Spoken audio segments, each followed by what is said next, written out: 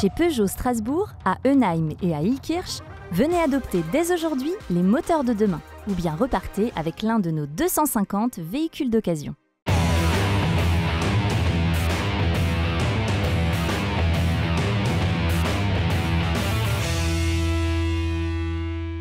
Bienvenue dans Top Sport au programme ce soir du football, pardon, tout au sud de l'Alsace avec l'équipe de Saint-Louis en National 3.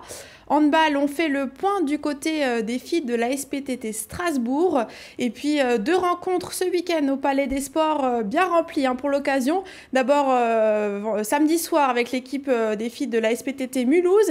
Et puis une autre rencontre dimanche après-midi. Elle opposait en National 1 les clubs de basket de Mulhouse et de Kaisersberg. Et puis ce soir, on va surtout parler de futsal avec nos invités, Kenny Tanovan et Web Kadri. Bonsoir, merci d'être avec Bonsoir. nous. Alors vous êtes du club strasbourgeois du NOAF, on va en reparler dans quelques instants.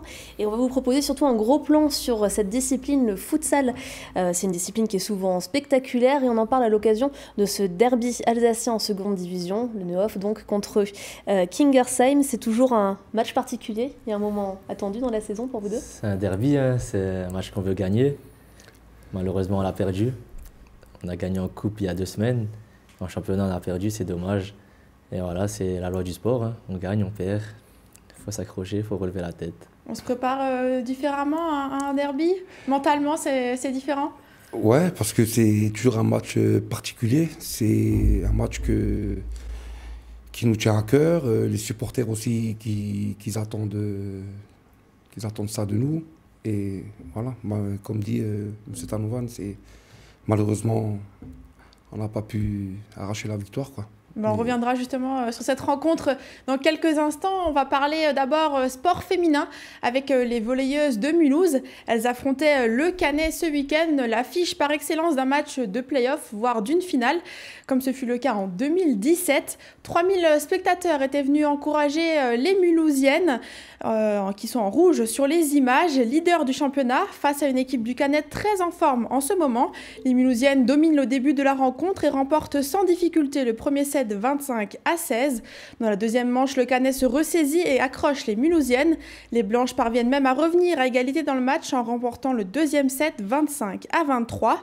Place ensuite à la troisième manche et là ce sont clairement les sudistes qui démarrent de la meilleure des manières en menant 3 à 0. Elles prennent 5 points d'avance au milieu du set et le remportent 25 à 21. Mulhouse doit se ressaisir. Une mauvaise entame dans le quatrième set mais les rouges sont poussés par le public et reviennent à 20 partout. Mais le Canet aura le dernier mot et remporte le set 25 à 21. Défaite des Mulhousiennes 3-7 à 1. Écoutez leur entraîneur à l'issue de la rencontre qui s'excuse. I want to say one important thing. I'm really sorry for uh, for my club and for these amazing fans because in front of 4,000 people, uh, they deserve to to see one team that fight until the end. So I'm really sorry for it. I want to say excuse because when uh, one team stopped to play in one moment is my fault, so I have to say sorry. Et malgré cette euh, défaite, les Mulhousiennes sont qualifiées pour les playoffs et ce depuis la semaine dernière. Côté classement, les Mulhousiennes restent leaders et il va falloir défendre cette place. It's so important to finish first because a quarter final can be really strong because if you are second and third you can meet some amazing team like San Rafael and Nancy but now Cannes is so important because if we beat Cam I think we are so close to finish first. Et pour battre Cannes, qui est actuellement troisième au classement, ça se passera ce samedi, et eh bien tout simplement à Cannes. On passe euh, à présent au bobsleigh avec euh, notre Alsacien Romain Heinrich. Il était aux côtés de Dorian Otterville ce week-end euh, pour les championnats d'Europe de bob à deux en Lettonie. Ils ont terminé tous les deux cinquième et pour la Coupe d'Europe et sixième de la dernière manche de Coupe du Monde. Place désormais pour eux ce week-end au championnat du monde de bob à deux en Allemagne. En tennis, quelques semaines après leur élimination euh, d'entrée à l'Open d'Australie, Pierre Hugerbert et Nicolas Mahut ont remporté dimanche leur 16e titre commun en double. Cela se passait à Rotterdam et c'est leur deuxième sacre aux Pays-Bas après 2018 et leur première victoire en 2020. On va parler dans quelques instants du derby en futsal, mais d'abord un autre derby, celui euh, en basket entre le club euh, de Mulhouse et celui de Kaisersberg en National 1, la troisième division nationale. Alors ce qu'il fallait euh, retenir de ce match, eh bien c'est un petit florilège de contre. D'abord en premier, puis la voie le deuxième, le joueur de Kaisersberg Revanchard qui part ensuite au dunk. Ce qu'il faut aussi retenir, eh bien c'est une action un petit peu particulière, une chute digne un film d'action, voilà. je ne sais pas s'il simule, mais en tout cas, il s'est fait mal. Et puis, euh, ce qu'il fallait retenir aussi, eh c'est un vent. Regardez le coach qui tend la main à son joueur, euh, un entraîneur, un intérieur, pardon, arrivé euh, fraîchement à Kaisersberg, mais non, il n'a pas voulu tendre la main. Plus sérieusement, Mulhouse attaque fort d'entrée de jeu ce derby. Les Blancs comptent 10 longueurs d'avance en fin de premier quart-temps, un écart qu'ils parviendront à conserver jusqu'à la mi-temps. Kaisersberg en orange donc lutte, mais ça se complique. Après la pause, l'écart se creuse entre les deux équipes. Mulhouse mène 65-48 dans les dernières minutes du troisième quart-temps. Dans le dernier acte, Kaisersberg s'essouffle et voit le score s'envoler. Comme à l'aller, les Oranges s'inclinent de 21 points sur le score de 94 à 73. Mais le plus important dans ce derby, c'est qu'il n'y avait pas d'enjeu. C'était surtout l'occasion de préparer la suite de la saison, alors qu'il ne reste plus qu'un match de première phase à jouer. Kaisersberg tentera de sauver sa place en National 1 dans le groupe C, synonyme de playdown.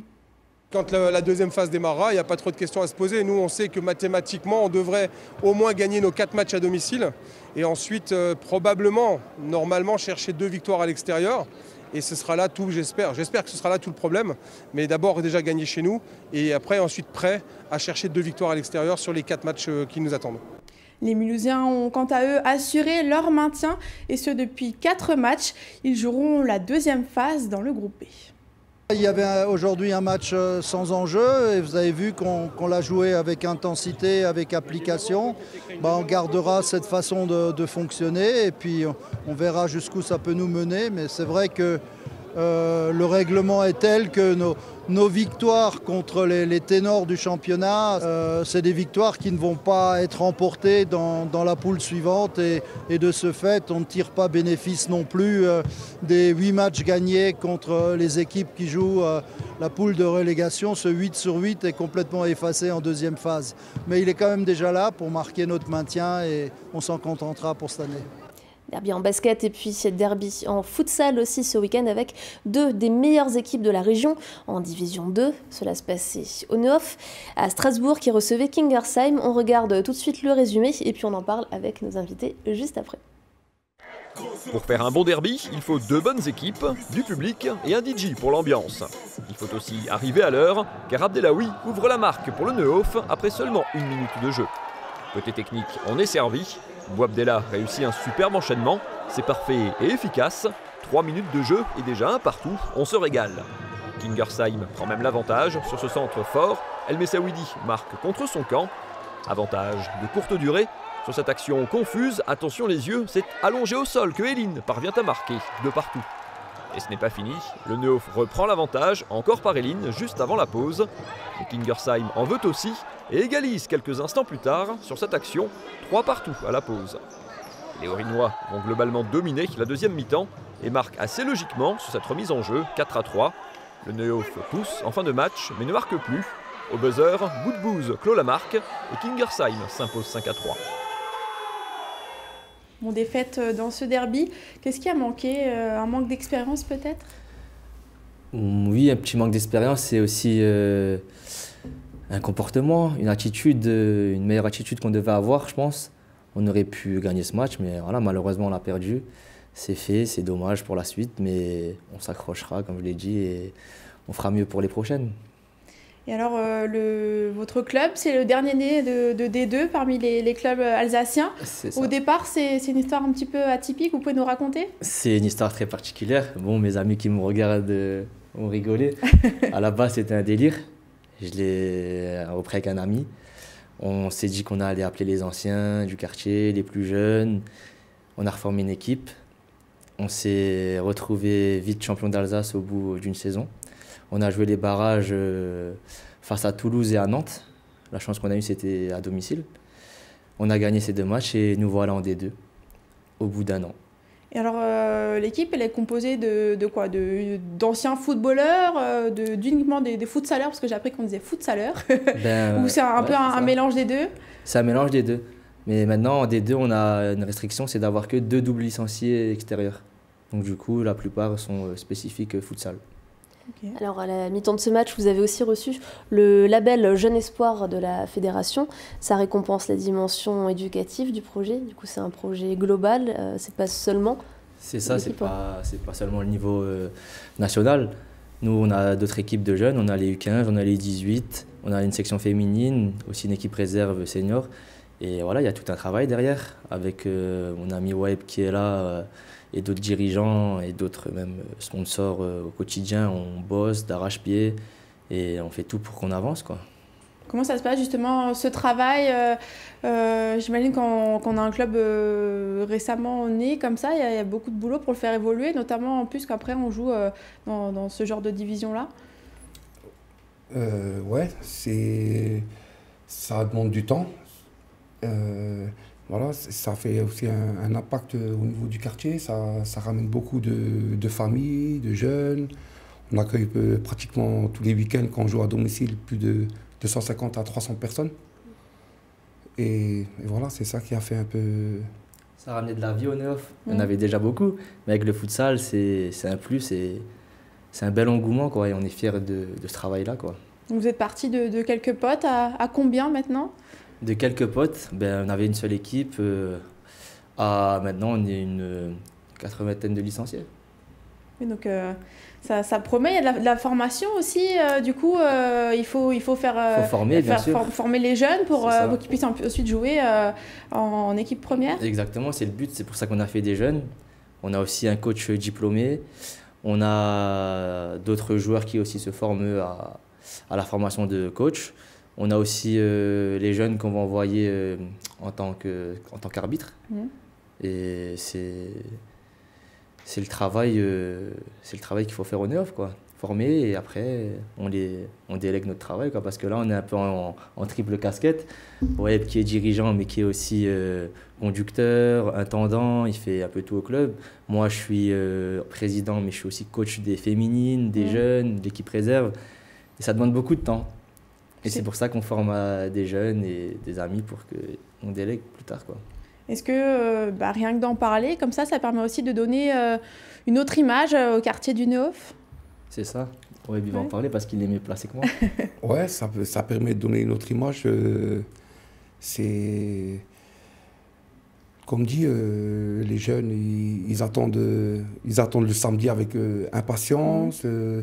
au courant de la semaine aussi, on a fait un partenariat aussi avec le, CSC, qui est Centre socio-culturel du NIOF, que les jeunes, euh, on a réussi à trouver un, créneau avec nous, avec, euh, avec M. Tanouran, qui, qui fait en parallèle, euh, dans ses heures de travail, qui, a réussi à trouver un créneau avec les jeunes. Qui... pour mélanger en fait la structure, comme on, est on a nos créneaux maintenant, mmh. depuis qu'on est en D2 Merci à la ville de Strasbourg de nous accorder beaucoup, nous, accorder beaucoup de créneaux, mais il en manque encore parce que voilà, tout n'est pas parfait. Et avec les créneaux qu'on a du CSC, comme je suis animateur là-bas en parallèle, je jongle en fait en faisant un partenariat CSC Néo Futsal quoi. Et du coup voilà, comme ça, comme je peux répondre à votre question d'avant, ça a changé beaucoup au Neof parce que voilà, on donne une, belle image sur le terrain et en faisant des beaux projets comme ça, parce que c'est la première fois qu'au Neuf on voit un club au niveau national quoi. Et c'est une fierté pour nous et pour tout le quartier. On espère euh, que ça va continuer euh, pour vous. On continue à parler euh, futsal dans un instant, mais concernant les aspects plus techniques et tactiques, hein, parce que c'est assez spectaculaire aussi comme sport. Mais avant, on va parler handball avec un coup de projecteur chez les filles en National 1, la troisième division. La SPTT Strasbourg y joue depuis quelques années le haut de tableau. Elle recevait Dijon ce week-end, l'occasion d'aller faire le point sur leurs ambitions. Ça commence comme une drôle d'histoire de famille, avec deux frères au sifflet, deux sœurs dans l'effectif de Dijon et les deux sœurs la même bout côté Strasbourg. Mais la période est compliquée pour les oranges de la SPTT qui enchaînent les matchs, gagnent souvent mais sans la manière. Dijon en profite en début de match et fait rapidement le break. Strasbourg a du mal à mettre du rythme et manque de bol, l'Alsacienne la plus en forme joue dans les cages de Dijon où elle enchaîne les parades. Il faut une grosse débauche d'énergie aux Alsaciennes pour recoller au score À la pause, elles n'ont plus qu'un but de retard et prennent même l'avantage au retour des vestiaires pour la première fois du match. On se dit que la machine est lancée, on se trompe. Dijon réagit bien et la SPTT retombe dans ses travers. Trop d'échecs au tir, pas assez d'énergie en défense. Dijon refait un écart et les Oranges ne marquent plus. Deux petits buts seulement dans le dernier quart d'heure. La défaite 24 à 19 est logique et le podium est désormais à 4 points. Un coup d'arrêt donc pour les Strasbourgeoises et une défaite difficile à encaisser. Écoutez-les. Par rapport au podium, là, là, on, prend, là on prend vraiment du retard. Euh, je ne sais pas si on avait des jokers, mais là, pour le coup, on n'en a absolument plus. Et si, si, on veut viser un podium, déjà, c'est éviter de reproduire ce genre de jeu.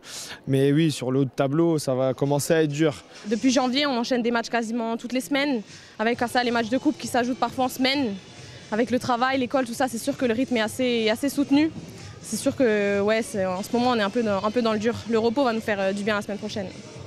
Avant de reparler euh, futsal, on va parler euh, football. Gros plan cette semaine sur la nationale 3, où six clubs alsaciens sont à la bataille. C'est compliqué notamment pour Saint-Louis qui lutte pour son maintien. Les Orinois accueillaient ce week-end la réserve de 3, entraînée par l'ancien Mulhousien Garib Hamzin. Regardez. Dans ce match à gagner, Saint-Louis démarre idéalement. Le centre de Camara est dévié du talon par Thierry Yao. C'est superbe et ça fait 1-0 après 12 minutes de jeu. Tout va bien. Tout va mal 5 minutes plus tard quand 3 obtient un penalty, mais Aïssi Kede est impérial et le détourne. Yao est tout près du doublé, mais sa frappe rase le montant. 1-0 à la pause. Saint-Louis est plutôt bien en place. Diallo au retour des vestiaires à l'occasion de faire le break, mais bute sur le gardien troyen. Et comme souvent, faute d'avoir tué le match, Saint-Louis se fait bêtement reprendre. Un ballon mal dégagé, un coup de billard, et 3 égalise. Tout est à refaire. Les Orinois retournent au charbon, la tête de Diallo est bonne, mais la parade de Boilac est impeccable. Saint-Louis ne ménage pas ses efforts, mais ne sera pas payé. L'envie et les occasions y étaient, mais le réalisme fait défaut. Au classement, alors qu'en haut, Sarunion a perdu à domicile. En bas, avec 15 points, Saint-Louis conserve 2 points d'avance sur Sarreguemines et Métropole Troyenne, les deux derniers, mais ces deux équipes comptent deux matchs en moins. On écoute tout de suite le gardien de but de Saint-Louis, Siegfried Aïsikede. Par rapport à avant, il y a du progrès, parce qu'avant, on prenait vraiment beaucoup de buts. Là, c'est vrai qu'on n'avance pas, mais au moins, on encaisse un peu moins, donc ça, ça nous démoralise un peu moins à la fin des matchs. Maintenant, il faut essayer de retrouver cette, cette, bonne dynamique, cette réussite qui va nous permettre de, de gagner beaucoup plus de, de points. Quoi. Et tout de suite, comme toutes les semaines, c'est la crème des réseaux. Et on commence avec euh, les basketteurs de la SIC qui étaient à la Leaders Cup en fin de semaine dernière. Ça se passait donc à Disneyland Paris. Mais euh, apparemment, posés aux côtés de Mickey et de Pluto, eh bien, ça ne leur a pas trop réussi. Hein. Les Strasbourgeois tenants du titre se sont fait sévèrement éliminer en quart de finale face à Lasvel, 91 à 72.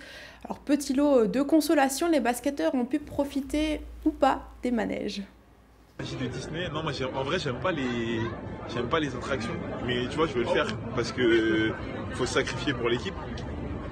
J'ai envie de gagner et je veux qu'on ait un esprit d'équipe, du coup, je me sacrifie, tu vois. Là, j'ai peur de fou là. Qu'est-ce qui s'est passé, Jérémy Apparemment, un petit problème, de, un petit problème technique, petit problème de maintenance. En fait, il y a des peureux dans l'équipe, ils se sont dit on préfère gâter le truc plutôt que de faire l'attraction. Apparemment, il y, a des peureux. Hein. Alors, ce genre de compétition, c'est aussi eh bien l'occasion de bisuter les plus jeunes de l'équipe. Regardez.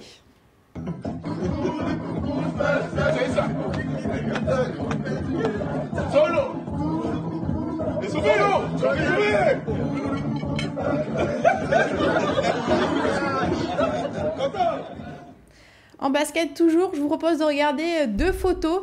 Ça se passe euh, au club de Holzheim. Alors ça c'est chez les filles, c'était pour euh, bah, souhaiter une bonne Saint-Valentin à tous. Alors des photos plutôt mignonnes. Et puis ben voilà. Chez les garçons c'est comme ça. C'est une photo dans les vestiaires euh, voilà à moitié dénudé ben chacun chacun son truc hein. euh, on passe à présent à la gymnastique avec une Alsacienne Camille Ball. Elle participait euh, la semaine dernière à une compétition de sport universitaire interacadémique à Dijon. L'équipe a été médaillée d'argent. C'était l'occasion eh bien pour l'Alsacienne aussi de montrer l'envers du décor avec quelques chutes. Regardez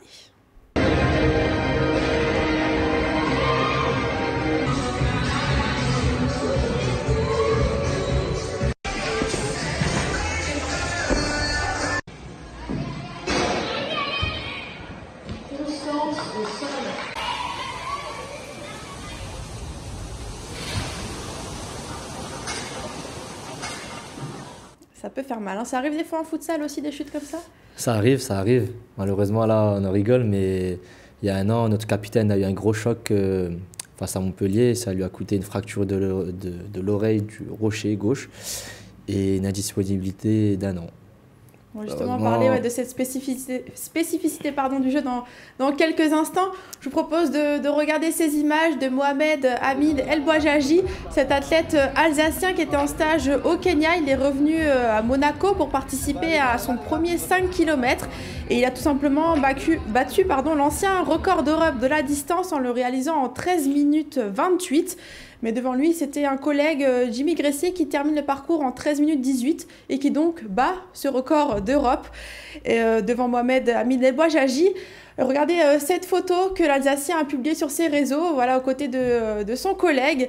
Et avec, on peut lire à côté de la photo, Mohamed qui dit Grosse séance, mon frérot. Jimmy, le sale est inévitable.